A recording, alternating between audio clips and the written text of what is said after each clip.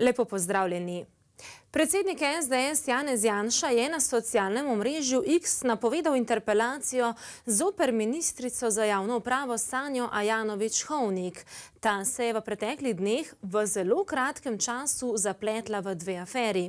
A kot pravi Janša, ima država še druge probleme, ki jih vlada ne rešuje.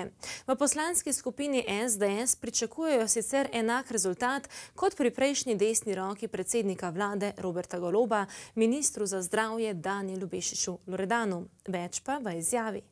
Očitki so to, kar ji medijski prostori že očitajo, obenem pa tudi po letu in več, skoraj leto in pol od njenega delovanja ni nekih večjih premikov na območju delovanja javne uprave. Torej prostor na interpelaciji je za to, da se opozori na delovanjem tako ministrice kot tudi širše vlade, kajti vlada je za to, da dela v dobrobit državljank, državljank Republike Slovenije. Zdaj uspela ne bo, se pa seveda pričakuje, da pa glede na očitke, ki so pa res zelo veliki, da bi pa ministrica najbolj očitno bilo, da bi kar odstopila sama. Da so spremembe v vladi Roberta Goloba več kot potrebne, je očitno sprevidel tudi sam premijer. V teh dneh bi lahko prišlo do menjav na čelu ministrstev za kmetijstvo ter za naravne vire in prostor. Na seznamu pomankljivosti v delu ministrice Irene Šinko naj bi med drugim bili neučinkovito delo uprave za varno hrano, veterinarstvo in varstvo rastlin. Pri Urošu Brežanu pa naj bi bila težava predvsem v prepočasnih postopkih postopkih pri izvedbi sanacijskih ukrepov po nedavnih ujmah. So pa danes v poslanski skupini Svoboda naposled razkrili kandidatko za ministrico za zdravje in to je Valentina Prevolnik-Rupel. Gre za zdajšno državno sekretarko na Ministrstvu za zdravje in članico strateškega sveta za zdravstvo pri premijeju Golobu. Prevolnik-Ruplovo najprej čaka predstavitev pred parlamentarnim odborom. Prebivalcem zaselka Struge v občini Luče je naravnost prekipelo, saj dva meseca po poplavah še vedno niso dobili odgovora države na vprašanje, ali se lahko vrnejo domov ali pa se morajo preseliti. Medtem, ko je večina od 50 prebivalcev še naprej razseljenih, so jim pristojni na nedavnem sestanku povedali, da bo odločitev sprejeta šele v mesecu decembru.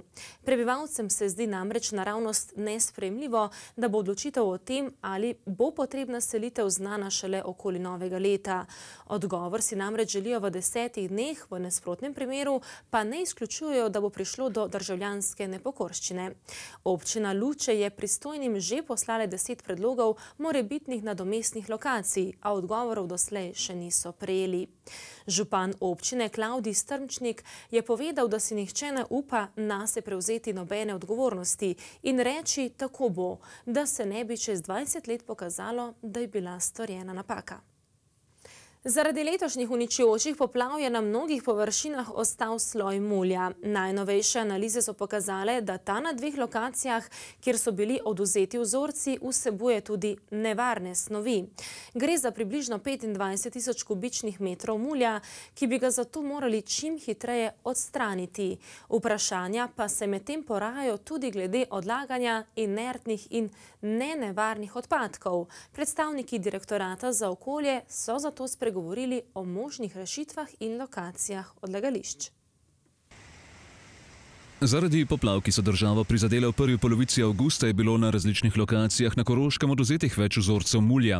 Analiza je pokazala, da je mul vzorčen v Šentjanžu pri Dravogradu in na lokaciji Breku v Črni na Koroškem nenevaren, medtem ko mul pri benzinskem servisu Petrol na Prevaljah, v Mušeniku v občini Črna na Koroškem ter pri Malgajevem spomeniku in v Dobji vasi v občini Ravne na Koroškem predstavlja inertni odpadek. Na tej meji Prevalje Mežica, tako kot je ocena strokovnih inštitucij, se je to skoncentriralo, ta mulj in vse skupaj, zato je ta poljana in to je v bistvu najbolj kritična lokacija, če govorimo Krivograd in pa Kriket klub, to je nekako dolje preneslo vso zadevo in pa če tukaj se skoncentrira, ni šlo pa naprej dol. Po ocenah strokovnjakov se na poplavljenih območjih v Prevaljah in v Mežici namreč nahaja približno 25 tisoč kubičnih metrov nevarnega mulja. Za odlaganje slednjega bi bilo zaenkrat primerno le odlagališče za nevarne odpadke podjetja TAP Mežica. V tem območju imamo edino odlagališče za nevarne odpadke, ki je urejeno kot odlagališče za ograjo, ima pravilno, kaj naj rečem, posteljico, pravilno, primerno tla,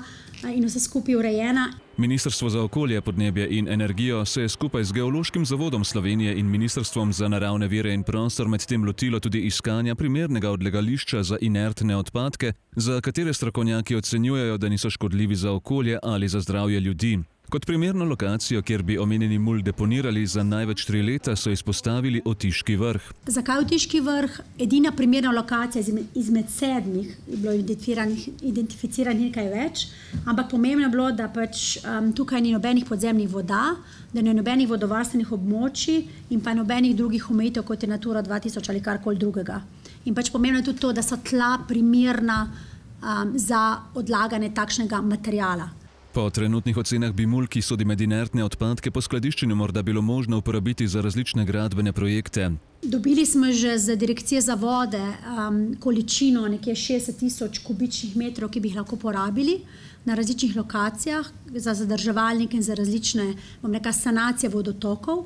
Um, čakamo še odgovor strani direkcije za ceste, ali je ta material tudi primeren za sanacijo, za karkoli, pač, da se potem preplasti, seveda ustrezno tako naprej. Na vprašanje, ali bi bilo nevaren mul možno sežgati na direktoratu za okolje, medtem odgovarjajo, da veliko oviro poleg same količine odpadkov predstavlja predvsem visoka cena sežiga.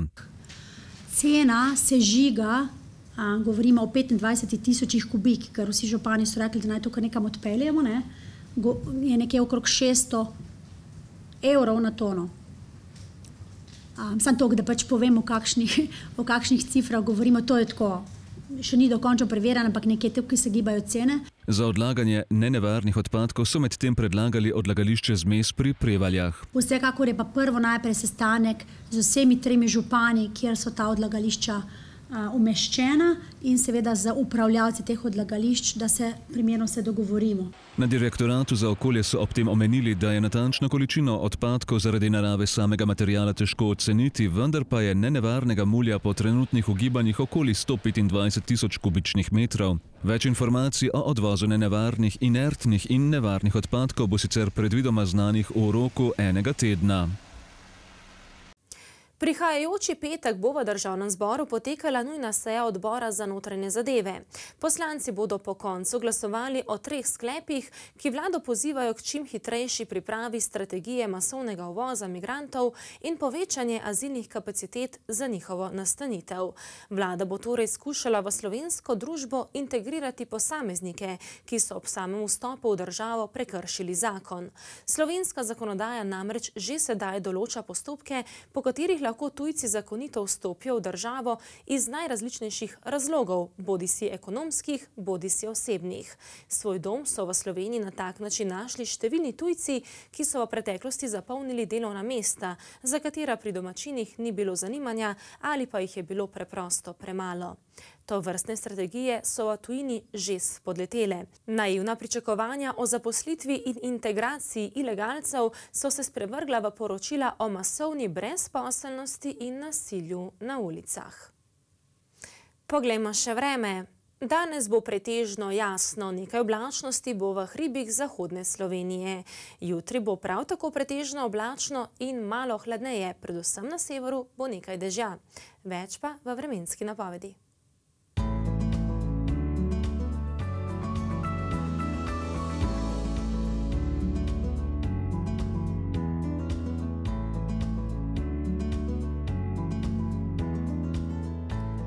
Jutri bo pretežno oblačno, manj oblačnosti bo ob morju. Največja verjetnost za občasne krajevne padavine bo v severni polovici Slovenije, lahko tudi za grmi. Drugod bo po večini suho, na primorskem bo zapihala šipka burja, drugod veter vzhodnih smeri. Zvečer se bo jasnilo. Najviše dnevne temperature bodo od 16 do 22, na primorskem do 26 stopinj. V četrtek bo sončno, v petek pa bo zmerno, občasno ponekod tudi pretežno oblačno. Jutra bodo po nekaterih nižinah meglena.